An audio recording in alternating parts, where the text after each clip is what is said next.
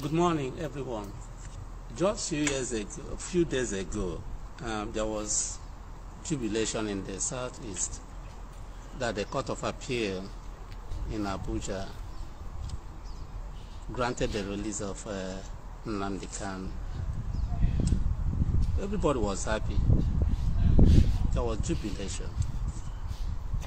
But yesterday, we heard again that the federal government coerced the ju- justices of the Supreme Court to resign their decision and uh, grant a stay of execution on their own verdict. You begin to ask, what does the government want? A government should want what makes their people happy. Should want the happiness of the people.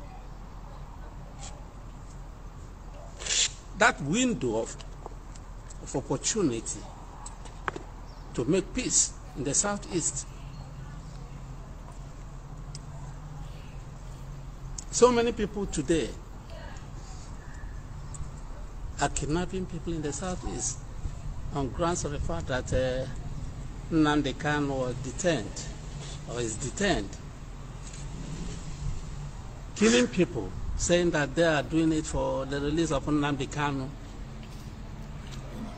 And the Court of Appeal kept that window of peace.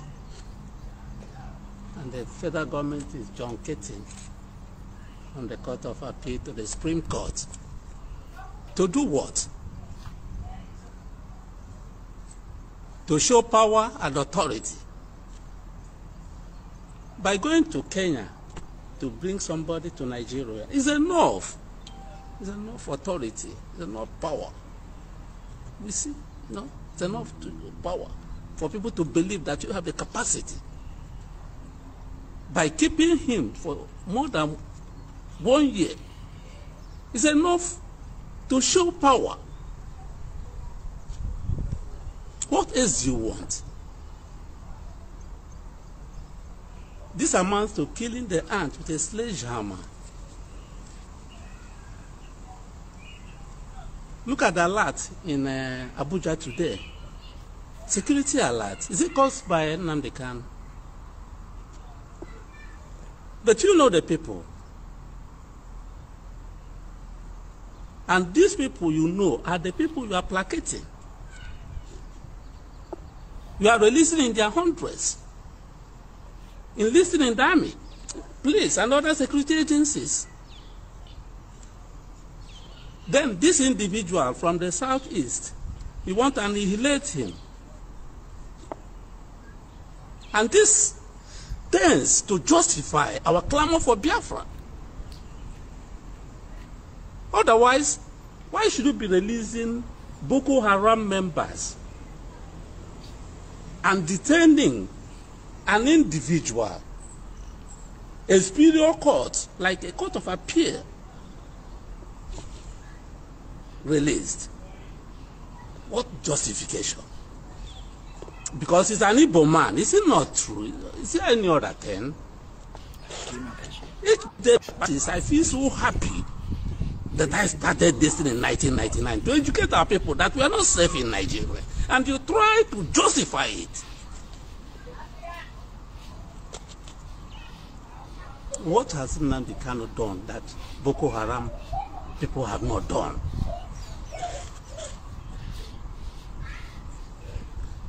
We are not interested in your uh, kangaroo court of appeal and uh, Supreme Court uh, judgments.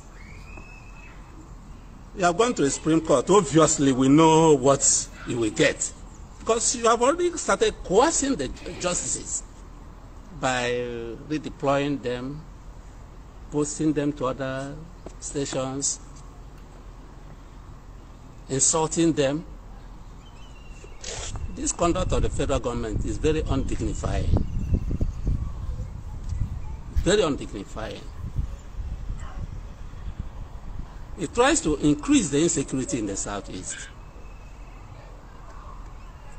Every Monday now, people stay at home. Even when you ask them to go to their normal businesses. They stay at home for fear. How are you helping matters as a government? You said Nnamdi Kanu did this, did that, did that. Did. Granted, but not conceding. What about members of the Boko Haram you are releasing? Are they innocent? Why are you releasing them? If you cannot release this one. I'm tired of all this nonsense uh, uh, because uh, you see, when the government is safe, it's the cause of insecurity. What else do you get? What do you think?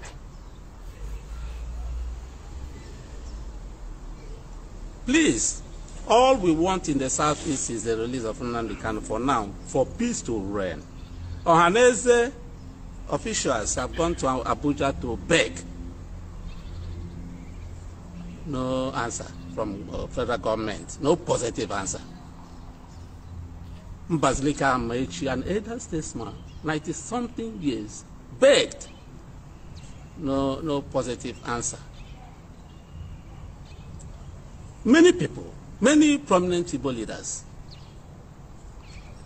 you say you want legal solution, no political solution. Then the legal solution came. You don't want to obey it. You don't want to do it. You want to undermine the Igbo man and the Igbo tribe. It will fetch you not, nothing. It will not frighten anybody. Rather, it is justifying our position that we want to stay on our own because we are not allowed to stay in Nigeria with others. That's how it is. And if you think that your actions can intimidate anybody, nonsense. It cannot. Get two, two, two million judgments from the Supreme Court. You are only making a caricature of yourself as a government. Nothing better. We are not afraid.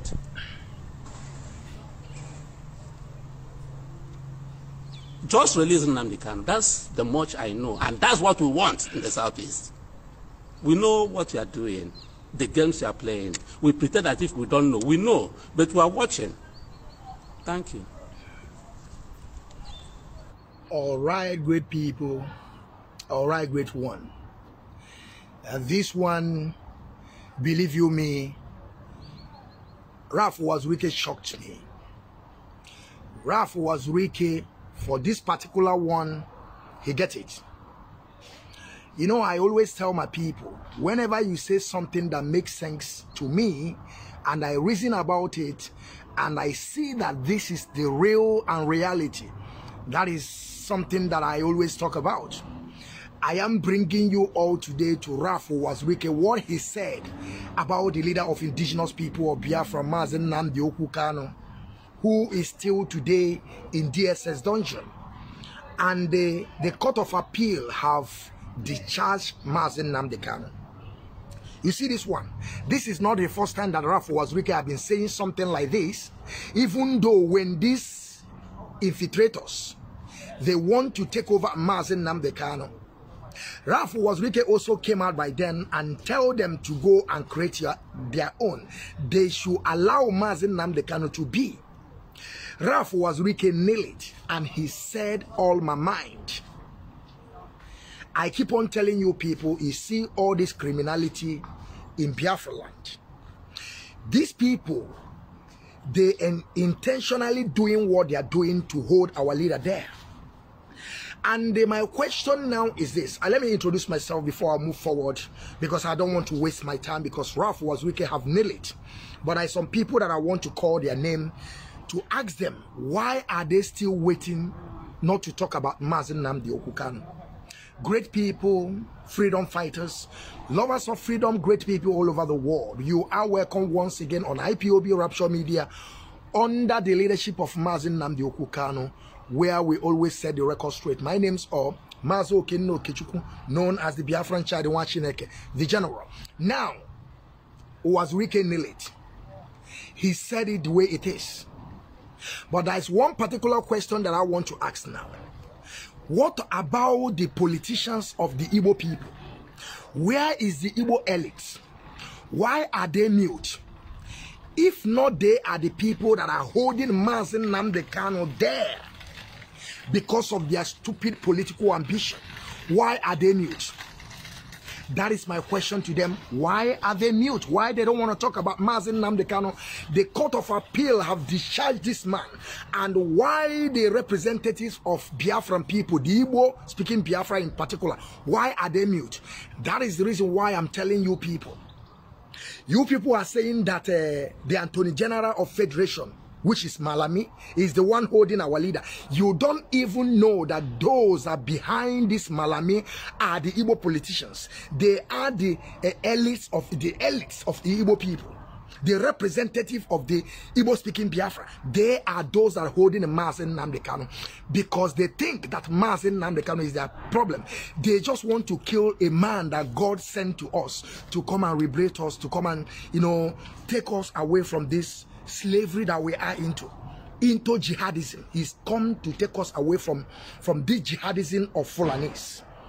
Why some of his brother are there they don't want to let him go. You see what I'm saying now?